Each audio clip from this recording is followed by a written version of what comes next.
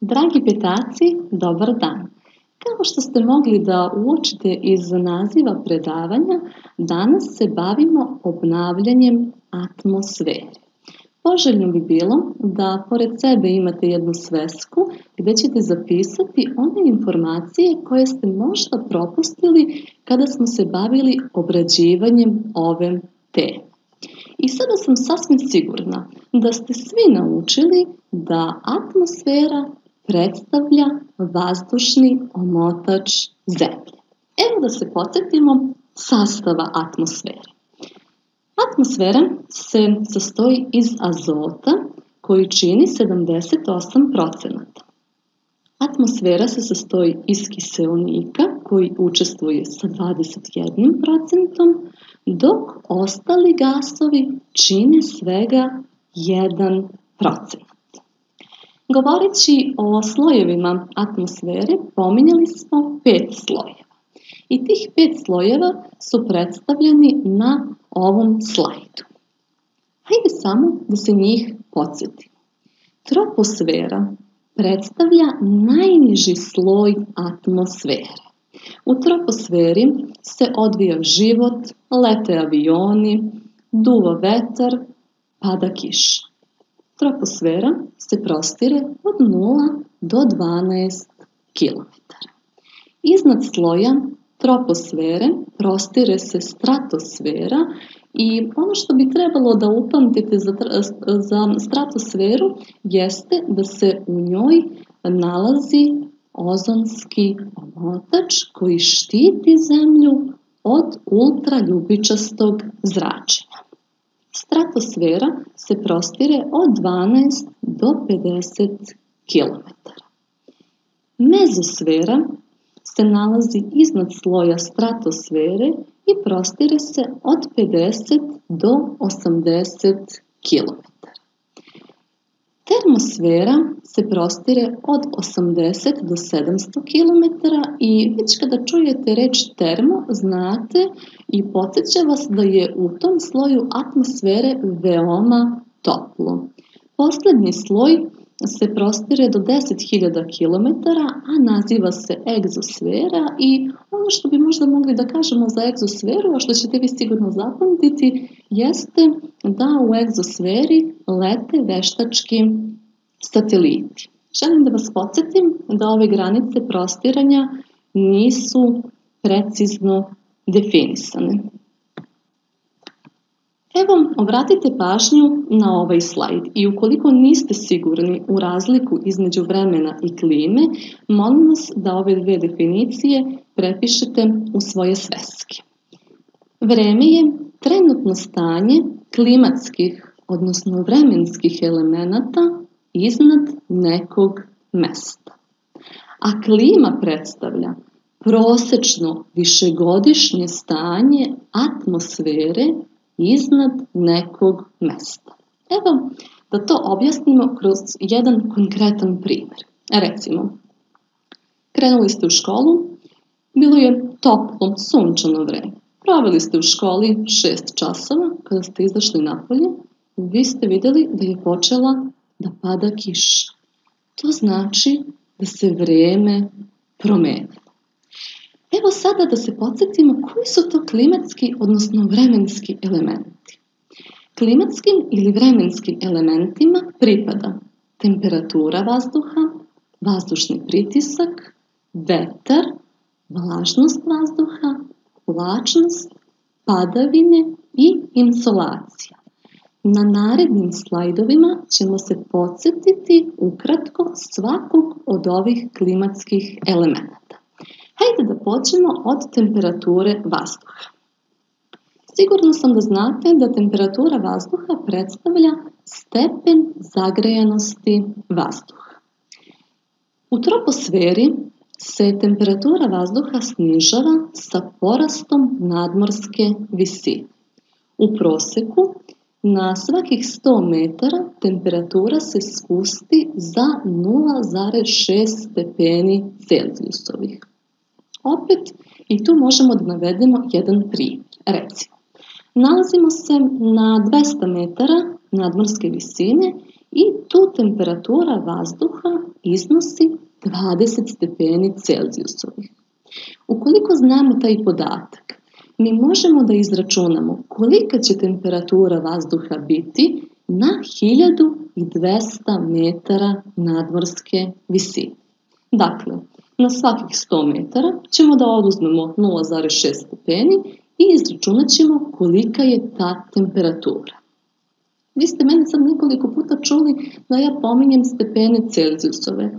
Potićemo se da se temperatura vazduha meri termometrom i da se izražava u stepenima Celzijusove ili Fahrenheitove skale i Celzijusovu i Fahrenheitovu skalu možete da vidite na priloženoj fotografiji. Evo šta predstavlja vazdušni pritisak. Vazdušni pritisak predstavlja pritisak koji vazduh vrši na zemljenu površinu. Vazdušni pritisak se meri barometrom ili barografom i izražava se u milibari. On može biti normalan, visok ili nizak. Normalan vazdušni pritisak iznosi 1013 milibari, sve što je iznad 1013 milibara predstavlja visok vazdušni pritisak, a sve što je ispod 1013 milibara predstavlja nizak vazdušni pritisak. Vetar predstavlja horizontalno strujenje vazdušnih masa. Vetar ima brzinu koja se meri anemografom i pravac koji se određuje vetrokazom. Govorili smo o raznim vrstama vetrova. Evo samo da se podsjetimo.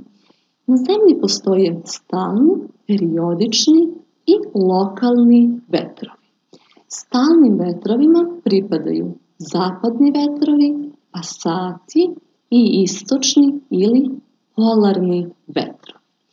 Periodičnim vetrovima pripadaju monsuni, a za lokalni vetar smo naveli jedan primjer iz Srbije govorili smo o košavi kao najpoznatijem lokalnom vetru u Srbiji. I samo da se podsjetimo kako duvaju stalni i periodični vetrovi. Pa vas molim da prvo obratite pažnju na prvu skicu. Evo, ako krenemo od pasata, vidite da pasati duvaju iz oblasti povratnika prema ekvator. Zapadni vetrovi duvaju iz oblasti povratnika prema oblasti polarnicima i duvaju pravcem zapad-istok. Istočni vetrovi ili polarni duvaju iz oblasti polova prema polarnicima. I tada kada smo obrađivali ovu nastavnu temu, ja sam vam pominjala ove pojmove, povratnik, polarnik. Međutim, nešto više reći o tome će biti u šestom razredu kada se budete konkretno bavili geografskom kartom. Dakle, ovdje vam samo napominjem te pojmove da bismo jednostavnije obradili stalne vetrove. Govoreći o periodičnim vetrovima, pominjali smo monsune. Rekli smo da letni monsun duva sa mora prema kopnu i donosi padavine. Letni monsun je, je ovde obeležen naranđastom strelicom. Zimski monsun duva sa kopna prema moru i donosi suvo vreme. Vlažnost vazduha predstavlja količinu vodene pare u vazduhu. Vlažnost vazduha se meri higrometrom ili higrografom, a izražava se u procentima. Oblačnost predstavlja pokrivenost neba oblacima. Meri se skalom od 1 do 10. Na priloženim fotografijama uočavate samo neke vrste ili tipove oblaka. Dakle, nisu svi tipovi oblaka ovde navedeni. Na prvoj fotografiji možete da uočite ciruse. Cirusi su beli oblaci koji se nalaze na velikim visinama. Kumulusi su također beli oblaci, ali evo vidite oni ovako podsjećaju više na trouglove. Dakle, njihov oblik podsjeća na trougao. Kumulonimbusi su tamno sivi oblaci iz kojih se izlučuju padavine. Kada je vazduh zasićen vodenom parom, jedan njen deo prelazi iz gasovitog u tečno ili čvrsto stanje u zavisnosti od temperature vazduha. Tada nastaju oblaci iz kojih se izlučuju padavine. Količina padavina se meri pluviografom i izražava se u milimetrima. Na priloženim fotografijama vi uočavate različite vrste padavina i sasvim sam sigurna da ste ih vidjeli i doživjeli. Dakle, neke od padavina su ovdje navedene kao što su kiša, sneg, grad, rosa, mraz i slana, a vi znate i za neke druge vrste padavina. Ostalo je još nešto da kažemo o insolaciji. Insolacija predstavlja izloženost nekog mesta sunčevim zracima. Meri se heliografom, a izražava se u časovima sijanja sunca. Heliograf vidite na priloženoj fotografiji. Ovim smo mi završili obnavljanje klimatskih, odnosno vremenskih elemenata. Ali hajde onda da se podsjetimo i klimatskih faktora. Sjećate se da smo govorili da klimatskim faktorima pripadaju udaljenost od ekvatora, nadmorska visina, reljef, raspored kopna i mora, morske struje, vrsta podloge i delovanje čoveka.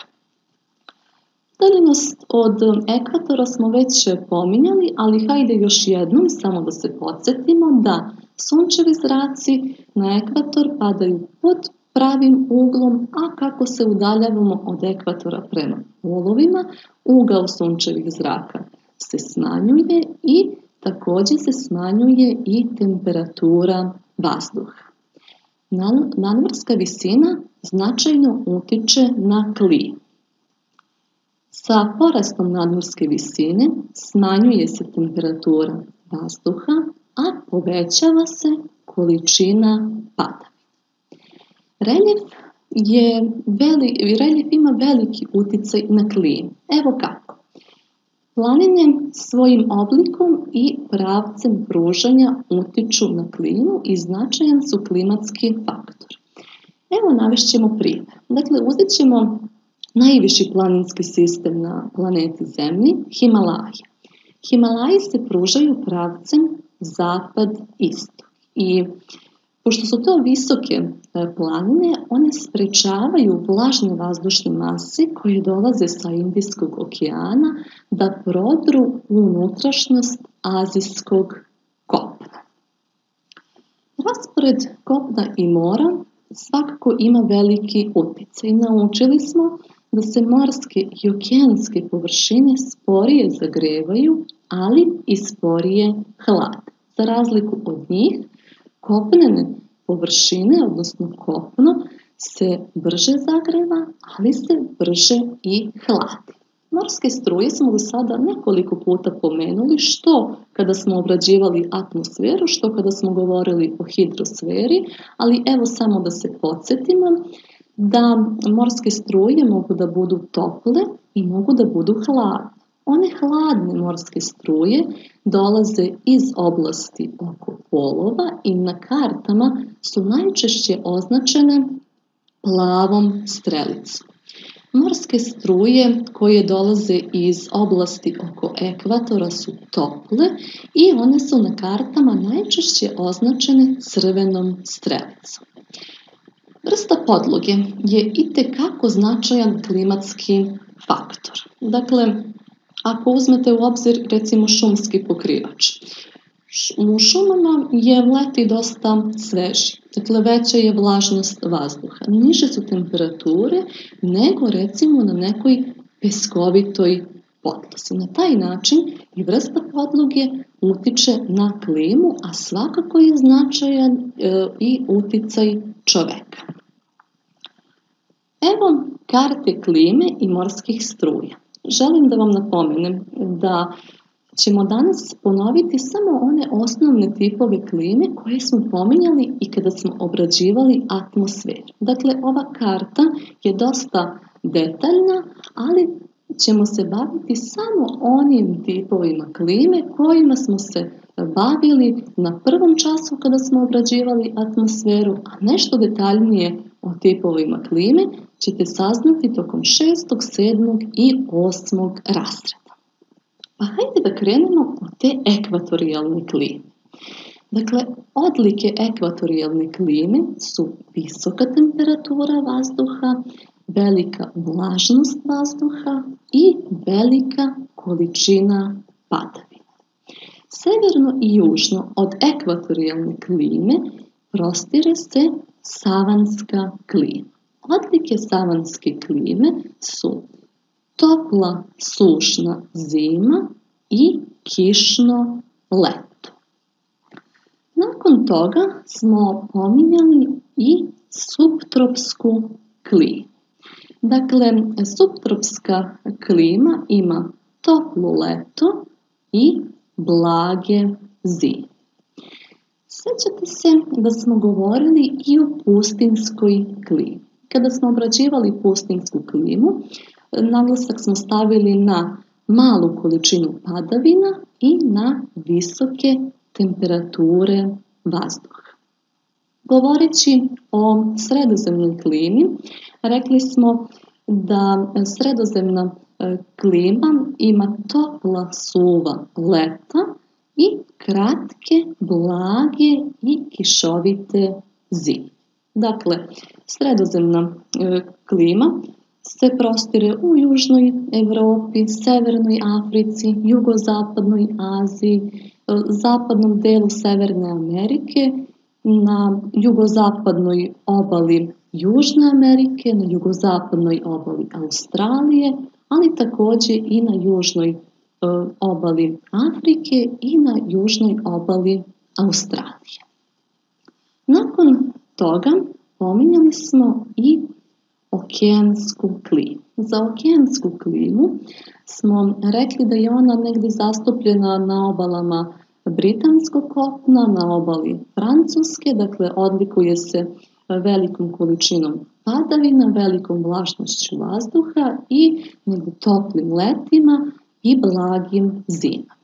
Govoreći o kontinentalnoj klimi, odlike kontinentalne klime setit ćete, su, setit ćete se su zime koje su hladne, leta koje su topla i mala količina padavina.